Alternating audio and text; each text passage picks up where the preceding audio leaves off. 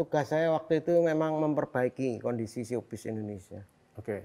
Jadi dari produksi, dari tata cara kontrak dengan artis juga ya. Dari dulu Mm-mm. kontrak artis itu juga merugikan panitia. Kenapa panitia banyak yang bangkrut? Karena dulu orang kontrak God bless itu pemain bisa bebas makan minum gratis di hotel.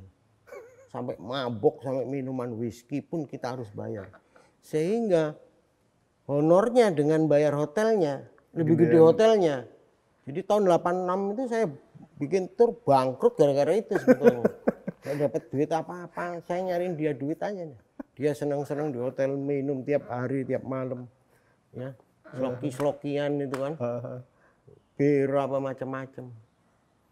Nah, kejadian itu yang selanjutnya saya cut.